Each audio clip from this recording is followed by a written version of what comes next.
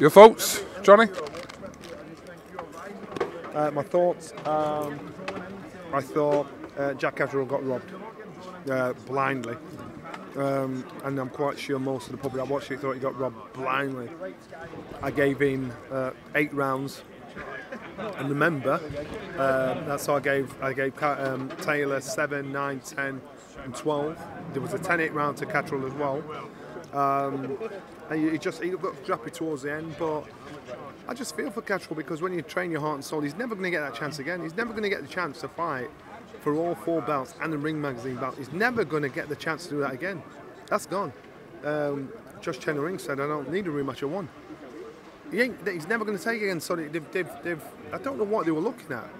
What can be done about it? We've had these arguments before. Sit the judges down, which won't happen. Tell them to explain the rounds. The 114 111 scorecard is the card that stands out. Obviously, it was on a split, but the one in favour of, well, obviously two in favour of, of Taylor, but 114 111, harsh on Catterall, that scorecard? Yeah, man, without a doubt. He was he, Catterall. I just, what I just saw. Uh, what were you looking at?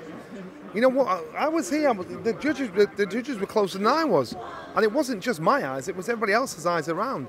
And we weren't actually sitting there saying, "What do you think? What do you think?" Everybody do the rounds, say, "What do you think?" Boom, show their rounds what they picked. So it wasn't like I was whispering your ear and you whispering my ear.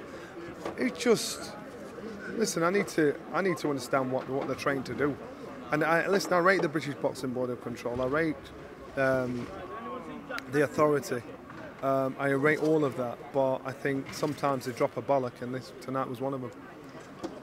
I'll let you crack on. Uh, thanks for your reaction. We'll see you. Uh, well, I don't know when I'll next see you. I'll see you uh, in the morning, breakfast. Over breakfast. Thank you, Johnny.